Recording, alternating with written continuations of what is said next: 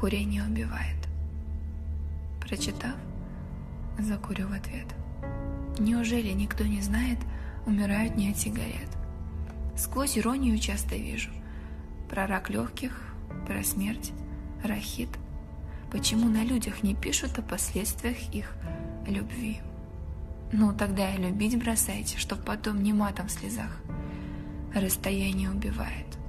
Ведь не пишут на поездах. Ведь смешно будет встретить надпись на спине или на груди, как тебя умирать заставят, как от этого не спасти. А еще про сердечные раны не расскажут, как избежать. В школе учат детей, что не надо пить, курить и употреблять. И ты знаешь, никто не скажет. Вредно так много любить.